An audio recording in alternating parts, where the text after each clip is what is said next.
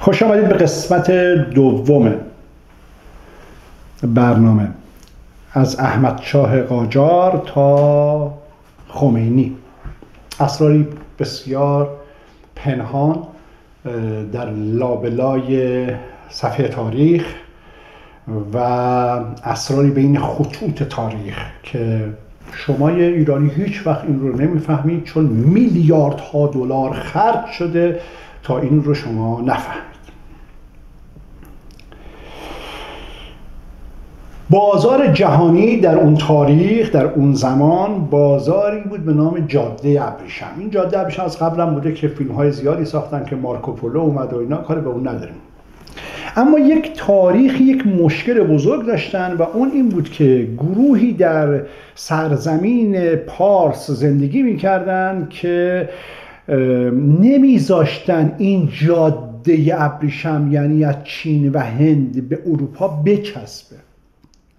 قیام های بسیار زیادی از قیام مختار گرفته سربداران گرفته و و و خیلی قیام های زیاد که می‌تونید سریالاشو ببینید. 50 درصد درسته. ارزم حضور شما که نگاه کنید می‌فهمید تا همین سرزمین مادری که داره پخش میشه و با 97 درصد سانسور خطوط کوچولویی رو میگه. و میترسه که باز کنه چون از نویسنده و کارگردان بهش تجاوز می‌کنن تا به رهبر و به مقامات کشور چون بسیار میترسن چون ایران دست چند سازمان امنیتی بوده که الان داره بعضی از این کشورها حذف میشه. در برنامه قسمت اول من یه خط توضیح دادم. گفتم که علت دوستی ما با پوتین و تیم پوتین در اصل. حالا می‌تونه بعدا پوتین عوض بشه یکی دیگه بیاد اما تیمش سر جاشه. دوستیمون این بود که ما یه التیماتومی دادیم که گفتیم می‌خوایم روس ها و انگلیسی ها رو از سرزمینمون بریزیم بیرون. این بار پوتین و تیمش اومدن یک چراغ سبزی نشون دادن که گفتن آقا ما با انگلیسی ها خوب نیستیم. پس مشخصه. امپراتوری پارس حکومت تصوف حکومت ریستارت. ما تا زمانی که روسیه با انگلیس دشمن باشه دوستمونه. خطوط وزارت خارجه ما کاملا مشخصه. پس روسیه تا هر وقتی که با انگلیسی ها درگیره می‌تونه دوست ما باشه. اما از زمانی که روسیه و انگلیس با هم رفیق شن ما با روسیه به هم خواهیم زد. خیلی مختصر و مفید تو یک خط توضیح دادم. ما می‌تونیم با پوتین هزاران کار بکنیم. با تیم روسیه می‌تونیم هزاران کار بکنیم.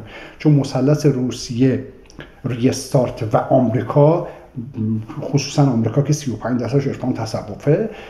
که همین هم بعد بدونید که شما خیلی از شما نمی‌دونید که انگلیسی ها هر وقتی که دلا شدن یه چیزی بهشون تپونده شد از پشت و نابود شدن تا یعنی از از دوران شاه اسماعیل یکم صفوی بگیر تا استقلال آمریکا.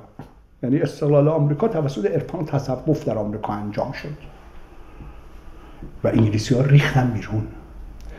یعنی انگلیسی ها یکی از دشمنانشون با آمریکا اینه که 35 درصدش قانون اساسی که لیدر ریاست می‌دونه است می‌خوام بگم این خط رو ببین چجوری اومده. یعنی یه خطی بوده که اینا مشکل داشتن. خب پس انگلیسی ها روس ها اومدن بررسی کردن کارشناس فرستادن ایران که ببینن چجوری میشه ایران رو از درون منفجر کرد و پادشاهان و شاهان ایران رو بتونن بیارن و حکومت ایران رو از استقلال خارج کنن. دیدن چند تا مشکل بزرگ داره. یکی از این مشکلات اینه که اینها یه گروه عرفانی و تصوفی این وسط و همین خاطر در همون دوران قبل از حضور شاه اسماعیل یکم صفوی هم اینها خانواده شاه اسماعیل صفوی رو گرفتن. یعنی بچهش دو تا شاه اسماعیل و برادرش رو گرفتن کردن توی چاک کشته شده حالا چرا زنده موند؟ سوالیه که الان هم باید بپرسی که چرا با میلیاردها دلار پول رضا پهلوی قدرت نرسید. همون سوال است. جوابش تو همون نهفته است. اینو بفهمن می‌فهمن.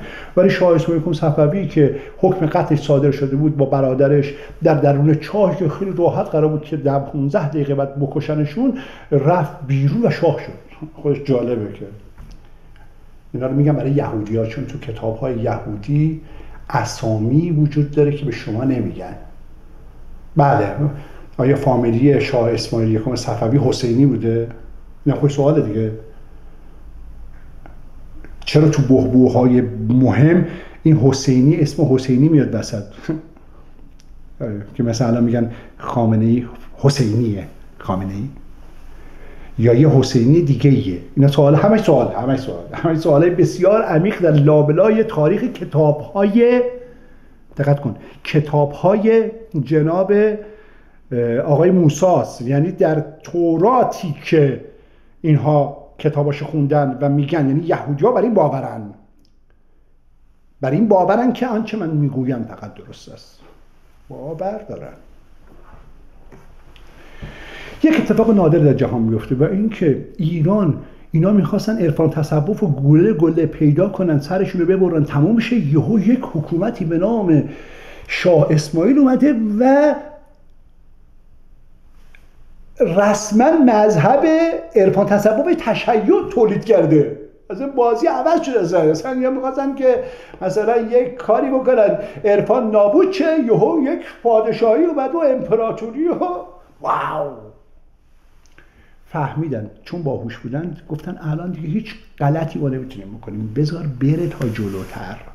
که بعد کریم خان زن توضیح دادن. که بعد یعنی بعد یه فقیه وکیل رعایا نابود شد.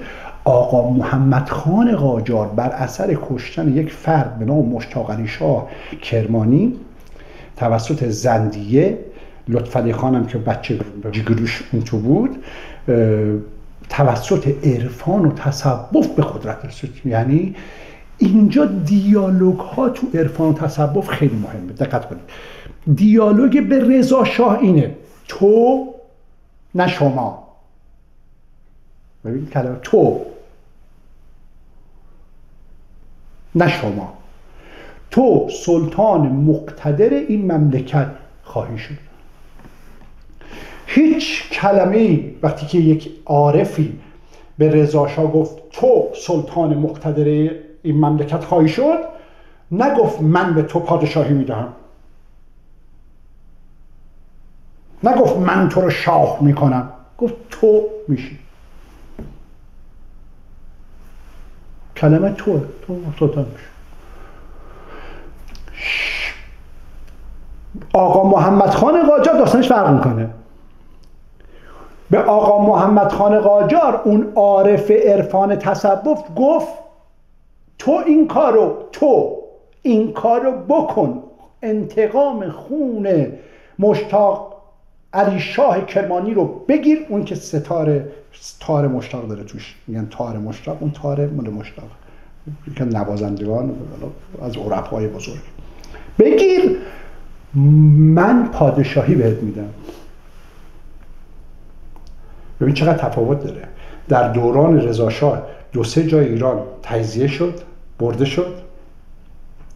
اما در دوران آقا خان قاجار ایران تجزیه متحد شد. دو سه برابر ایران بهش اضافه شد. اینا تفاوت هاست. تفاوت این که نفر بعدی که در سیاست می‌خوان معرفیش کردن این داستانش با, با آقا خان قاجر هم فرق می‌کنه. چرا؟ چون هم اجازه بهش میدن به آقا قاجر اجازه دادن چاهی دادن بهش. به رضا شاه گفتم تو شاه میشی. تو سلطان مقتدری مملکت خواهی شد. بعد رضا شاه گفتش که قربان اجازه می‌دید که ما با شما که بزرگ عرفان تصوف هستید و اینا رفت آمد؟ گفت نخیر راش بس یعنی رابطه عرفان تصوف با رضا قطع شد. بعد رضا شاه بسیار پاچخاری کرد تلاش کرد زور زد. ولی یک ریستارتی بود که حق نداشت راجع به عرفان تصوف حرف بزنه. عرفان تصوف فقط بهش اجازه داد که سلطان مقتدر مملکت ایران شد اما به, ناد... به, آقا قاجار شاهی داده شد. ببین چه کار کرد آن قاجار؟ هزاران برابر ناپلون بناپارت انجام داد. کشور ایران تجزیه شده. به کجا رسون که بعدش هر کاری که روسیه شوروی در است و انگلیسی ها کردن هر چی هی ایران رو تجزیه کردن آخرش ایران رسید به همون دورانی که بود. یعنی اینقدر که تجزیه کردن بازم رسید به اون کیکی که از قبل بود. اینجا کات بزنم برای اینکه بدونید شهر با شهربانو فرح دیبا وقتی ازش سوال کردم که چرا توی این سی سال سی و خورده ای سال بعد از جمهوری اسلامی که شما که می‌خواستی ملکشی شما که جنگ ایران و عراق رو تولید کردی شما که تمام زور زدی کشور رو بگیری از یارای خودت اومدن کشور رو گرفتن شوهرتو کشتی و می‌خواستی ملکه ایران بشی یا بهت خیانت کردن جمهوری اسلامی تشکیل دادن نرفتن با لگت بیرون چرا بعدش تو این سی و خورده ای سال راجع به هجاب حرف نزدی قیام نکردی بچه های تاپالت رو علم نکردی. شهربانو شهربانو. فرادی های جمله ساده رو گفت من شنیده بودم از یک عارفی که جمهوری اسلامی تا چهل سالگی هست. گفتم اگه بخوام این کارو بکنم سودی نمی‌خوام کشته بشیم مثلا یعنی اینقدر اعتقادش به به اون عارفه. همین سوال وقتی از مجاهدین خلق کردیم که آقا بعد از اون موقع اون اتفاقات افتاد چرا دیگه سکوت کردین؟ بچه‌هاتون فرستین دانشگاه. سیستمتون تنظیم کردین ولی قیام نکردین حرکتی نکردین. جواب مجاهدین خلق همین بود. ما از یه عارفی شنیده بودیم که جمهوری تا 40 سالگی هست. رأس 40 سالگی هم عرفان و تصوف. برای اینکه اینها رو در در در بوته آزمایش تفکری قرار بده بهشون بفهمونه چیه. یک نفر به نام سید محمد حسینی معرفی کرد. گفت اگر قرار امپراتوری پادشاهی باشه ایشون بفهمه سیاست رو ایشون. و تمام اینها پشت کردن سانسور کردن علیه ما قیام کردن. یعنی بهشون محبت کردن. جمهوری می‌تونه 40 سالگیشو نبینه. دیدید که هاشمی رفت رو هوا همه تیم‌ها رفت رو هوا. جمهوری رفت شورای امنیت. باورشون بوده که من همون موقع فکر می‌کردم که فرح میاد و رسما اعلام می‌کنه که بین حسینی لیدر ریسارد و رضا پهلوی قطعا حسینی. ای مردم پشت حسینی وایستی من فکر این کارو می‌کنه نکرد. خیلی جالبه کسی که همین چیزی می‌دونه. کسی که اسرار پ... شوهرش رو می‌دونه. اسرار پدر شوهرش هم می‌دونسته. و همین خاطر می‌خوام زودتر وارد مباحث مهم بشیم. شاه اسماعیل یکم صفوی امپراتوریش تموم شد. اتفاقاتی افتاد دوباره فلان اینها آمدان قاجار اومد و کشور رو گرفت و انگلیسی ها با کتاب ها با اون مستشاراشون با اون تفکراتشون با روس ها دست به دست هم دادن تا یک ایران رو تجزیه کنن. دو قاجاریه رو نابود کنن. سه عرفان و تصوف و کلن از بین ببرن که داستان نابودی تزار در تاریخ در پشت اون تاریخ رو من توی برنامه توضیح دادم که تزار برای چی از بین رفت. این کشمکش ادامه پیدا کرد تا رسید به احمد چای قاجار. از اینجا من می‌خوام مطالب رو بیشتر باز کنم. که بدونیم خانواده پهلوی کیان و خانواده خمینی کیان.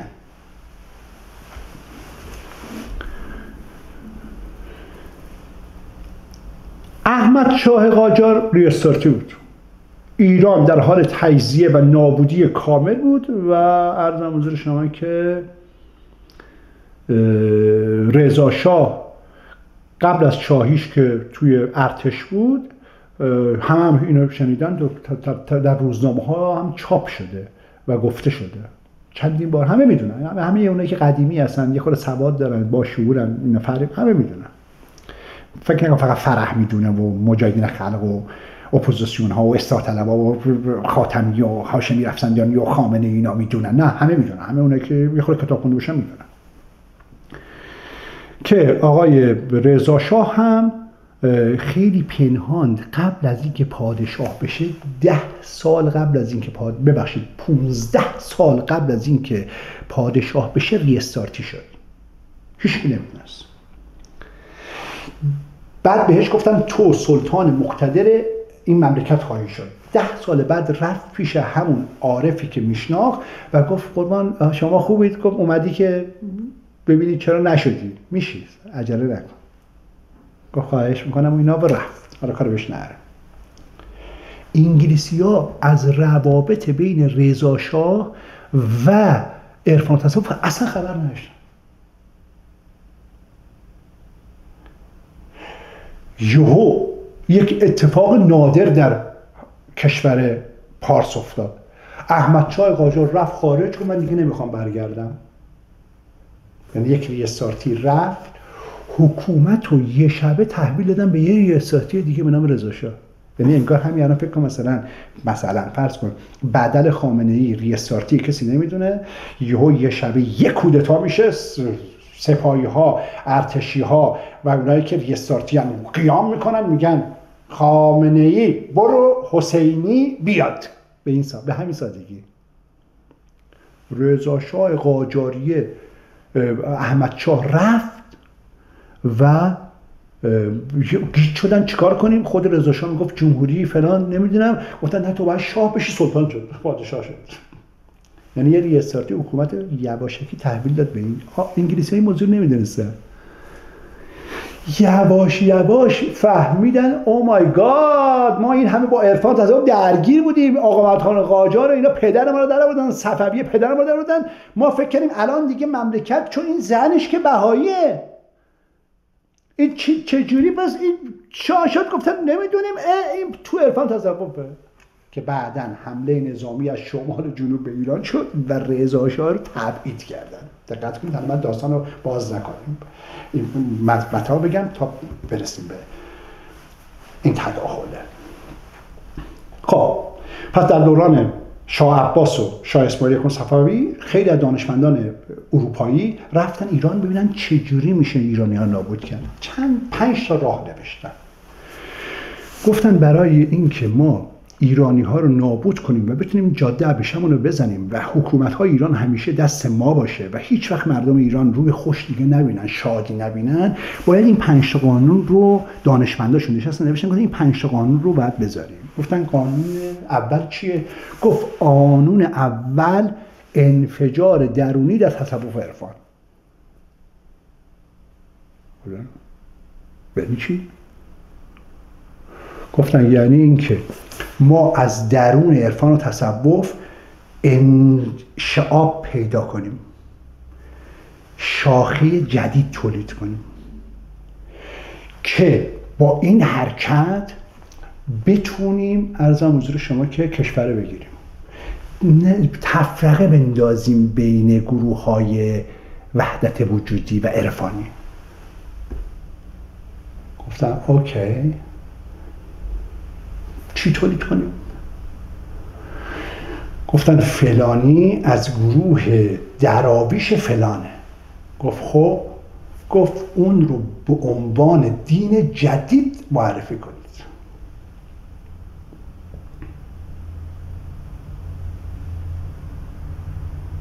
از اونجا بابیه تولید شد تا بهایت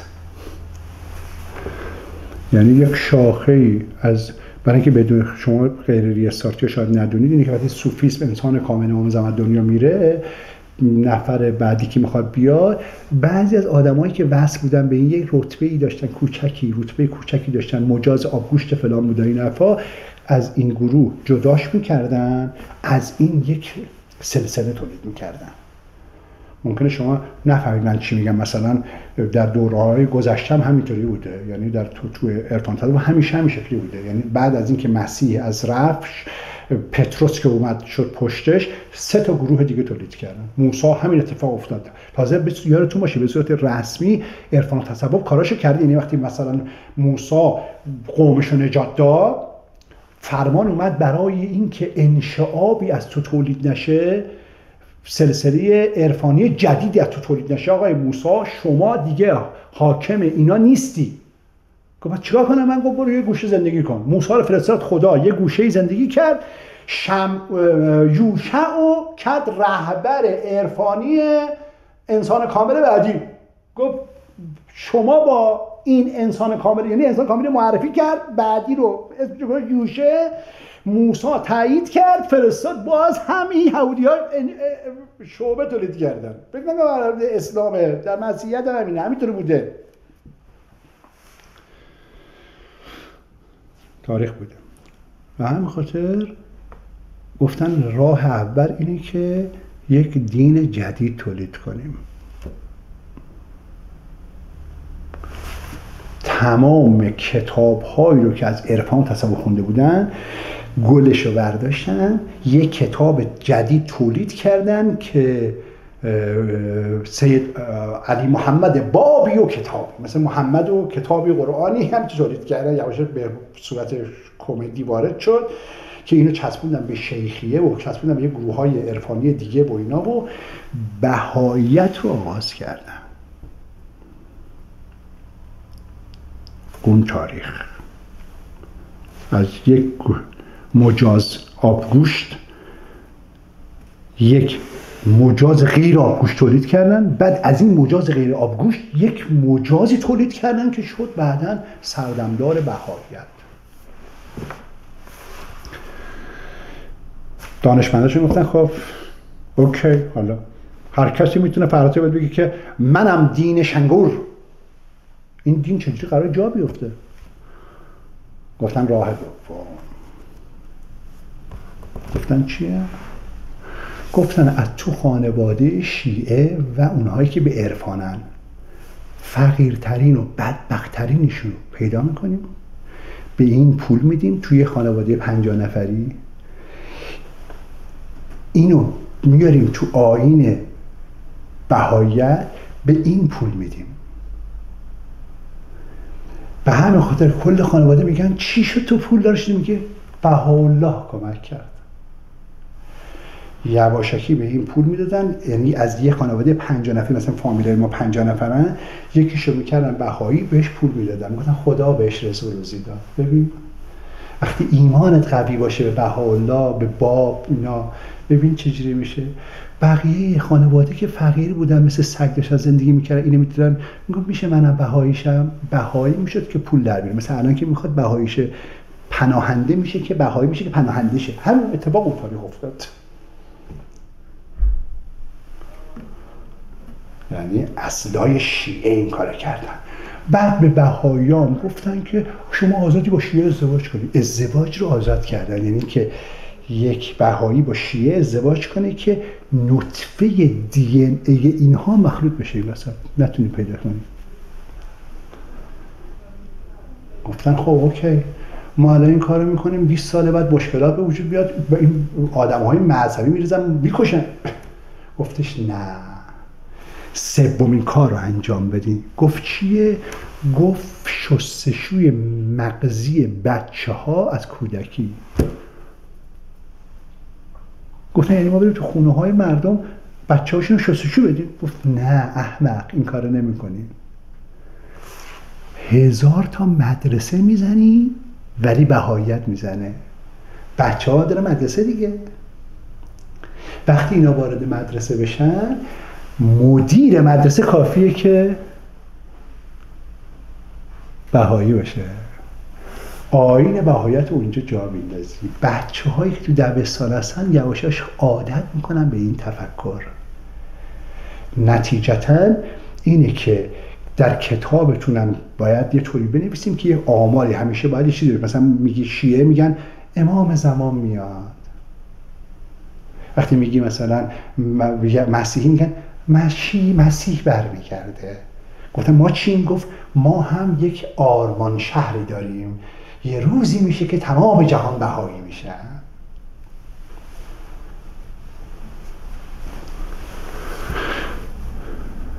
پس مدارس رو برداشتم و این کار کردن چهار. تحریف تاریخ و کتاب های عرفانی. این چهارمین کاری که انجام دادن. تا الان انجام دادن. یادت برای اینکه بفهمی حرف منو الان فکر کن که مثلا من بهاییم یا یهودیم می‌خوام که تلویزیون ایران رو دهنش رو سرویس کنم مردم رو بیدین بی, بی شیعه کنم بی اعتقاد کنم. خیلی ساده است. احتیاج نداره که من مدیر شبکه رو بخرم. احتیاج نداره که بازیگران بهایی بیارم. هرچند که جمهوری اسلامی اوورد همه چیکار می‌کنم؟ نویسنده رو بهایی بیذارم یعنی چی؟ یعنی یک نویسندگان سریال رو. یعنی مدیر شبکه مسلمونه مدیر گروه اجتماعی مسلمونه فیلم و سریال مسلمونه بازیگرا مسلمونن اما نوشته یهودیه. وقتی نوشته یهودیه اینها بازی می‌کنن فیلم نامه یهودیت به همین سادگی این فضا رو وجود میدن که 99 درصد سریال های تلویزیونی علیه اسلام بود که می‌بینید موفقم بودن دیگه. الان تمام دخترای شیعه می‌خوام میگن بیا این کونه رو نشون بده. کل کل تفکر زندگی دخترای شیعه شده. بکشیم شبنون بالا یا بکشیم پایین؟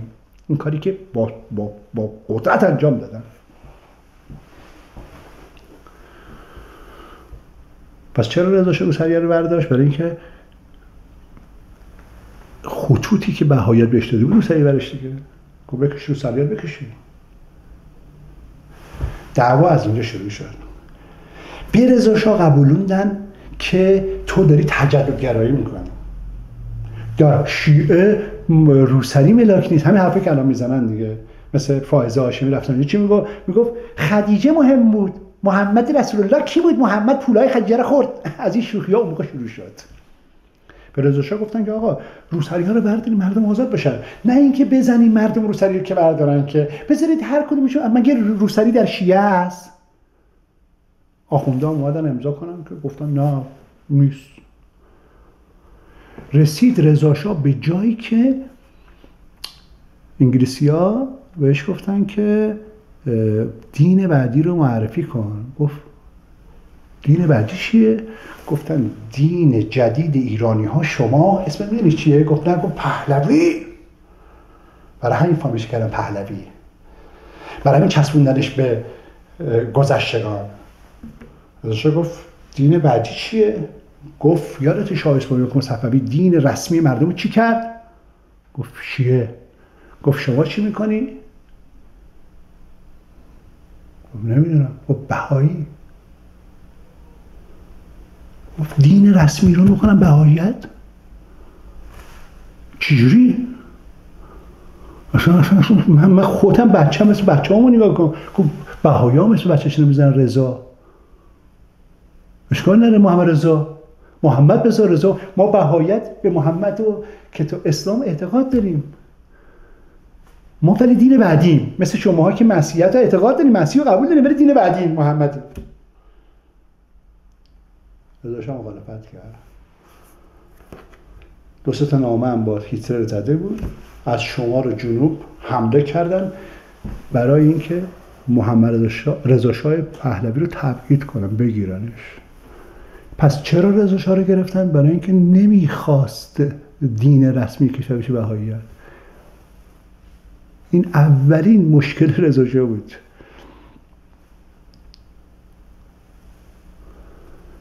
دین زن رضا پهلوی چیه؟ این سوال هست. دین فرح دیبا چیه که رفت امام رضا می اومد با به دستور شاه به زور می‌رفت می اومد این سوال های عمیقه. پس یواش یواش یک موجودی تولید که نام بهایت بهاییت این احمدی نژاد که در قسمت قبل گفتم. احمدی نژاد اومد که یارای خامنه ای رو بدوزه تقسیم کنه بهایت اومد تا عرفان و تصوف تقسیم. چون کتاباش شبیه به کتابای مولوی سعدی جملات خوب سعدی رو داشتن به نام بهاءالله به نام سید علی محمد با. ما عرفانی ما آین عرفانی هستیم. خوبی قلب به دل دل به دل بیایید با هم. و تولید یک شکل جدیدی از عرفان تصوف کردن. این کافی نیست. چرا؟ چون تا تاچر باید توضیح بدیم. هنوز کافی نیست. چون شاخه عرفانی فرماسونری این بسط چه کرد باید توضیح بدیم. یعنی تو الان باید بفهمی یواشاش که چرا تمام جهان شبکه من و تو رسم اعلام کرد که حسینی می‌خواد شاه بشه؟ چرا سانسور ریستارت و ریستارتی ها مل 15 میلیون ریستارتی سانسور شدن. باید ببینیم از کجا حرکت کردن. پس پنج تا فرمول گذاشتن که توی این پنج تا فرمول کنه پنجمی نگفتم پنج تا فرمول رو مسیرش رو انگلیسی ها شروع کردن تا برای همیشه بتوانند عرفان و تصوف و از حافظ و مولوی و افلاتون رو از صفحه روزگار ایران پاک کنن تا بتونن کشور رو بگیرن. تمام سران جمهوری اسلامی فیلمنامه رو که دارن ادامه میدن اینه. یک سال و نیمی که بازی یه مقداری عوض شده. تا قسمت سوم. و این که ببینیم که داستان رضا و محمد رضا پهلوی چه شد؟ چرا اشرف اعتقاد داشت که رضا پهلوی پسر شاه نیست و به CIA فیلمنامه ای که داد به CIA برای تغییر رژیم فشار می برد که علی رضای بچه دوم رو شاه کنن نه رضا پهلوی رو. و چرا جمهوری اسلامی جای حمله به فرح و رضا پهلوی اشرف مرد به اشرف گیر میده تو سریال سرزمین مادری؟ و صدها سال بسیار عمیق در تاریک خانه و پستوی تاریختون. بدرود میفرند